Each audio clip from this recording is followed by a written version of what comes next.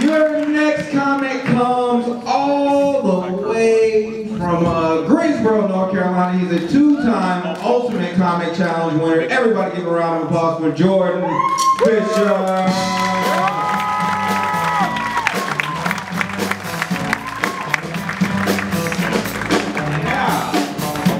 What's up,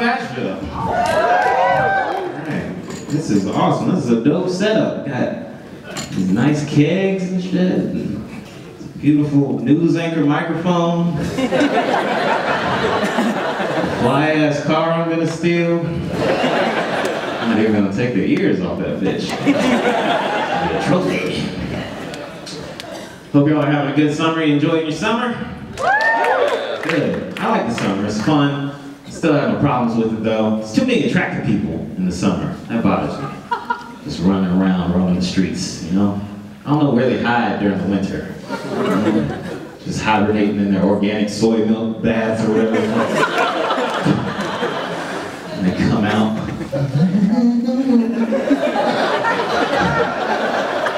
Just make me nervous. Like I see an attractive person approaching me on the sidewalk, my self-esteem makes me cross the street. Just like I can't even be.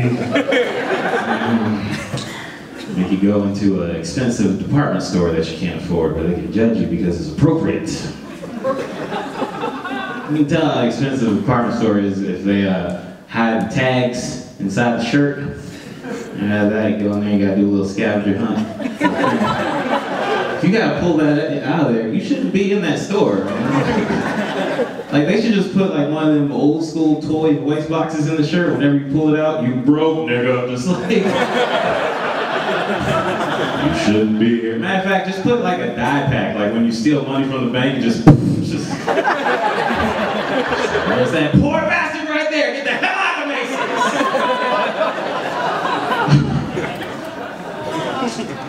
having a good year. I hope y'all are having a good year. This year's going better than last year. Last year I uh, celebrated my 24th birthday and I actually uh, broke my left leg on my birthday. Yeah. I, uh, I did this by going to a trampoline park. yeah. Into a trampoline park on my 24th birthday. Instead of going to a strip club like a real man, broke my damn leg. I guess that's just something you gotta add to the list of things black people should not do. Like, we can jump. We just don't need assistance.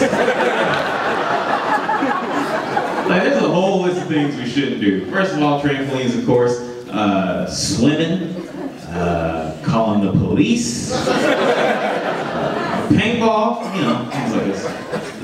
I actually played paintball one time in my life, and I ended up getting banned from the paintball field because, according to them, I was playing paintball too black. I didn't know it was possible. But apparently, it's against the rules to take the paintball gun and drive by real slow in a 93 Caprice. They don't like shit. The hell out of them kids. It was like boys in the hood.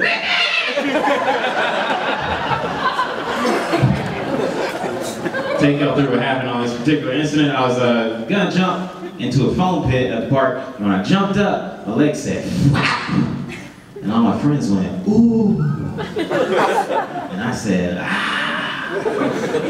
And I woke up in the hospital about four hours later. Woke up in the hospital about four hours later. When I woke up, can't make this up, woke up, I had a rainbow colored cast on. a rainbow colored, like, what the hell did I do to earn that? Do I snore with a lisp? Yes, sleep is so delicious.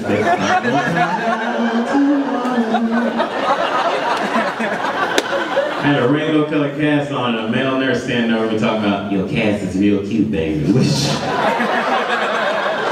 shit out of me. Scary thing breaking a leg. Scary thing breaking a limb in general. Any of y'all ever done that before? Broken a limb? It's rough, man. It made me, you know, it, it frightened me because I've had insecurities all my life, you know, and I just didn't need to have this tacked on to the list of insecurities I already had, you know? Like, because all my life I got picked on for having these big ass horse teeth. I was laying there with my broke leg and my big ass horse teeth. I started thinking, what if they put me down? Like, what if this is it? Negro's no good anymore. Go home and take him out, Eustace.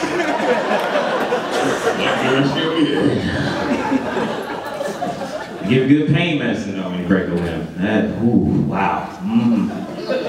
I never, you know, smoke, drink, I don't really drink nothing like that, so you take prescription pain medicine, that shit, ooh. I had to be careful, I had to like wean myself off of it. Like I felt like I was about to end up like one of them prom queens on intervention, you know? Showing her 95 class photo. I used to be so pretty. Like, I didn't realize how strong it was, like how much it took a toll on your mind and emotions till the other day I popped two Percocet and just cried my ass off watching Frozen. That shit's not cool. It's not cool when your mom walks in on you crying watching Frozen with your dick in your hand.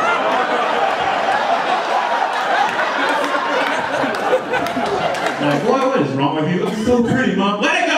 Okay.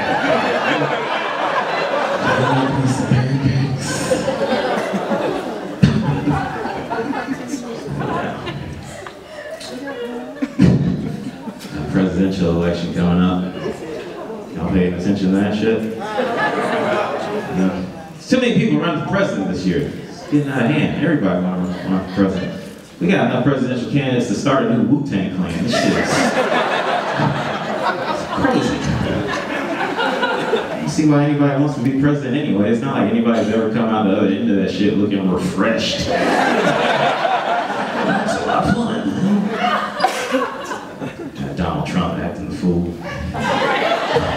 Just waiting for him to take his toupee off and reveal that he's Charlie Sheen.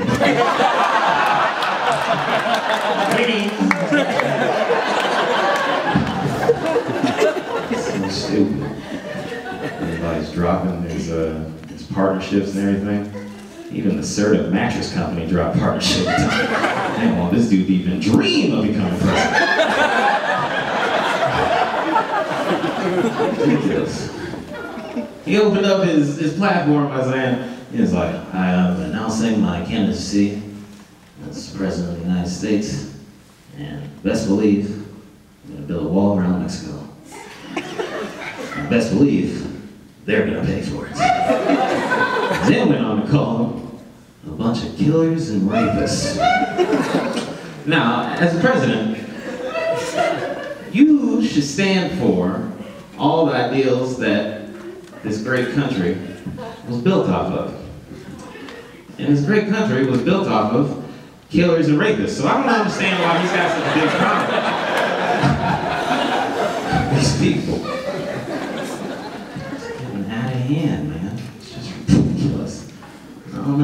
Miss Obama. You know?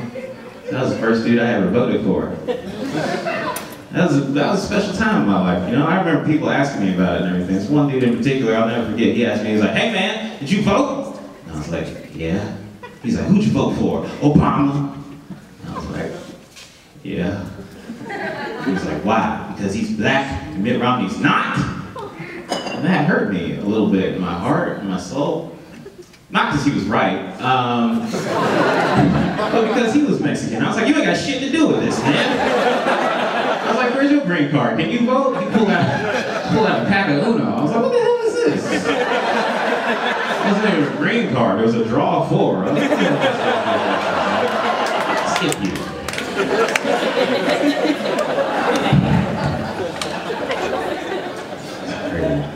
Uh, I think uh, the reason why people, well, black people, we gotta stick with Obama regardless of what he does because we voted for that dude. You know, like, doesn't matter what he does. He could bring back slavery on Thursday, and we still have to be like, mm, it's a job, you know.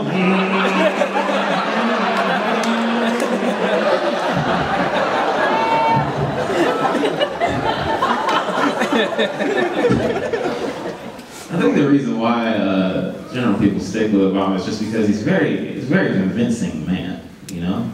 He gets in front of the American audience, and the way he just delivers his speeches, it just grabs your attention because he, he puts little cliffhangers throughout his speeches. You ever notice that? He does that. He's always talking in pauses. You know, you'd be watching like you need a bouncing ball. Like what the hell is he going to say?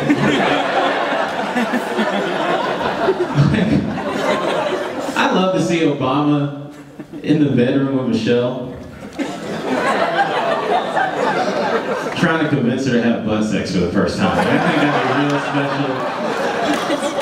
Like, think about it. Michelle will just get out of the shower, her hair's all wet, she just got done lotioning up her biceps with some cocoa butter.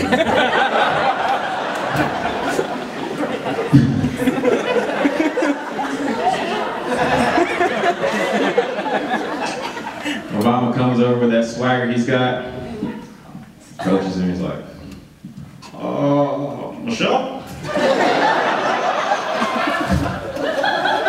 I've been doing some